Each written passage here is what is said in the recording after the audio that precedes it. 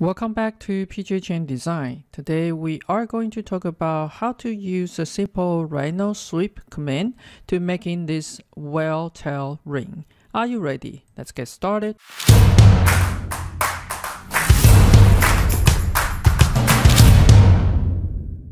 Before we starting this project, for this tail right here and the shape, I always will recommend you trace from the real image. For example, you can go to the Google and finding those real image and finding those shape that you like and download it and bring into the Rhino you basically just you need to use a picture command to bring the curve in. So I'm going to starting from this curve that I traced from the image for the tail. If you want the both sides to be symmetrical, you could just simply just mirror to the other side. Alright, so that's starting at the front view and we're gonna starting a circle, type it 0 and I would like to give it the diameter for 16 millimeter. If we're looking at the perspective, the design right now is flat to the construction plane, and we actually need this design and follow this curve over there. So the command that we are going to use, it's called curve from two view. We're gonna do it one by one. So this is the first one. This is the second one to bring that one up. And of course, you are going uh, to have both top and the bottom. We don't need a bottom one, so we're gonna delete that later. Let's do it one more time. This curve and this curve, this curve and this curve. All right, so we don't need the bottom one, so let's go ahead to delete those and we can hide the one in the middle so it's not confusing us. All right. So this is the where the position you want. If you want to tilt it more you probably wanted to do it on your original curve not on this curve because once you rotate this guy for example I say I'm going to rotate this and if you look at the front view it's no longer following the circle. All right. So if you wanted to rotate it in any angle you probably want to do it before you doing the curve from two view. So I'm going to control Z to get it back. As you can see on the front view, that's beautifully to getting into the circle.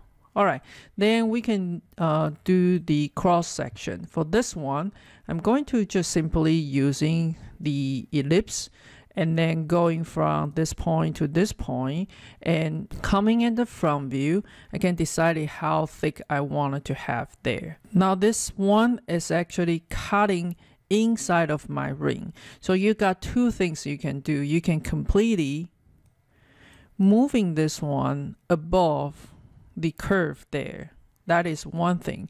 Another thing is you can sweep and then you want to Boolean difference uh, whatever cut it inside of the ring is up to you. So I'm going to have this one going up and maybe get it a little bit thinner, something like this, as long as it's not inside of it. So then I have something like this. This curve, it's going to be split into two curve. So I'm going to split somewhere really close to the tip there. And this curve, I'm gonna do the same thing, split with the point and that's split it right there. All right. So now I have this one and this one as my rail and I have this one as my cross section.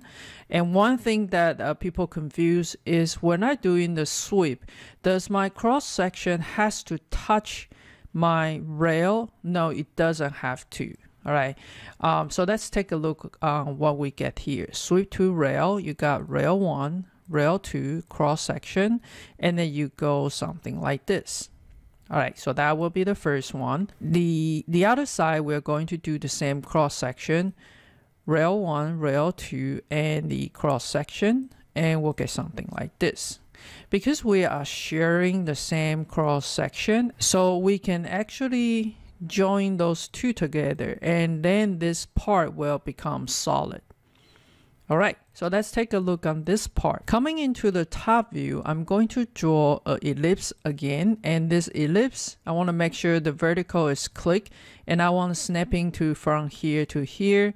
And for roughly about this height right there. Now, if you sweep like this, it's not going to be as pretty. Let me show you why. And then let's do the comparison. I'm going to do the sweep to and before we do that, I forgot one thing is we need to split this into two. So let's go ahead to use the split with the point.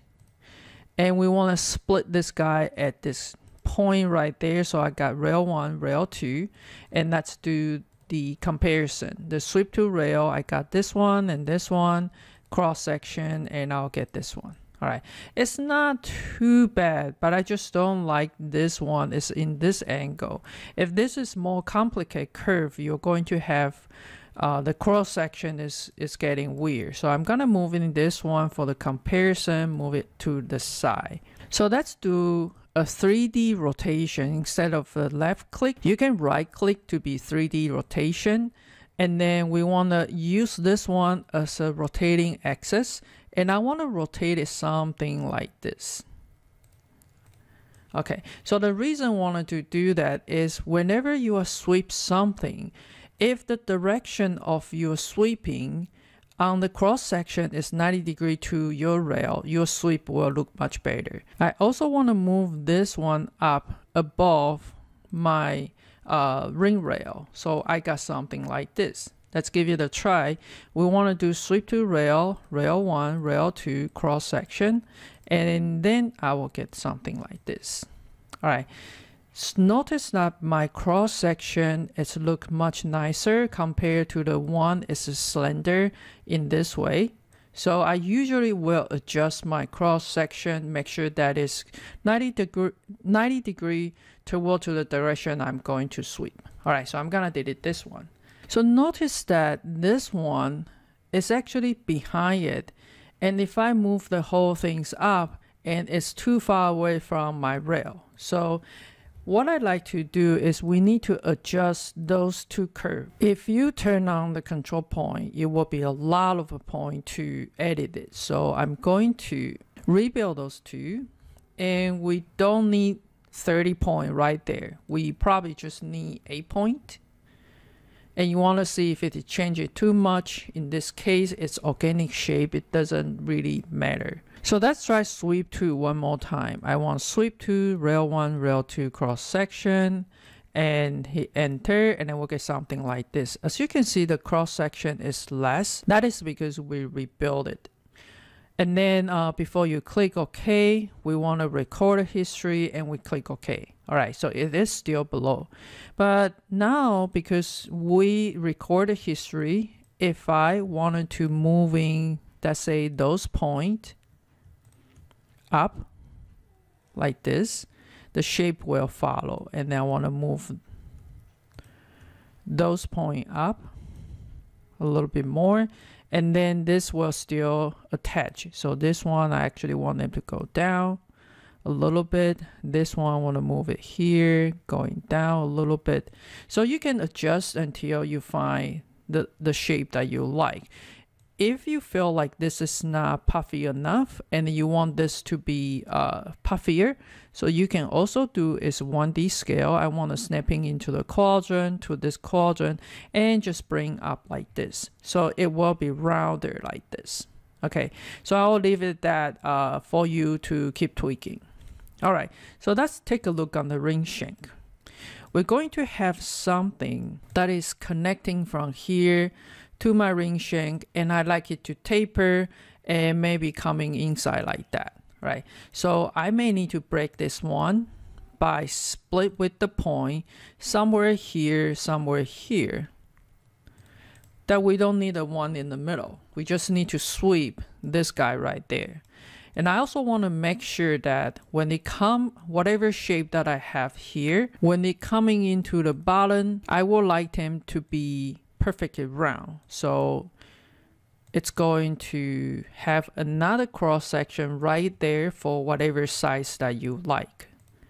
And that's moving this one to the quadrant. And I need to uh, tweak my ring shank a little bit. So let's rebuild this guy into the a degree 3 and I would like to keep it less point possible let's say 10 and click OK now we have this. I would like to have this one kind of moving out like this.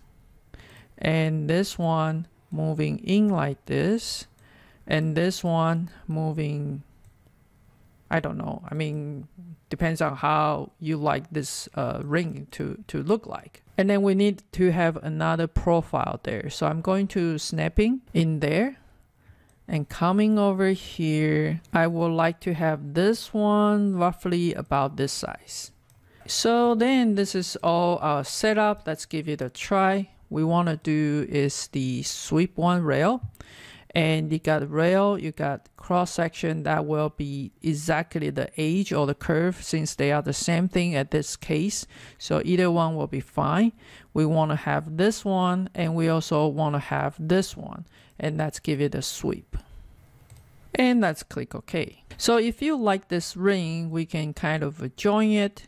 It will break the history, but that's fine. Don't worry about that. Um, and then the bottom right there, we can simply just cap it by using CAP command. And then that will be our ring here. Double check on the render view and see if it is smooth. And if it is not smooth, you might want to adjust your rail to make sure it is smooth. And after that, you can Boolean union this guy and this guy and your ring will be ready to print. I hope you enjoy this video. If you like this kind of organic type of the model, please let me know. Leave the comment below. Thank you for watching. I'll see you next.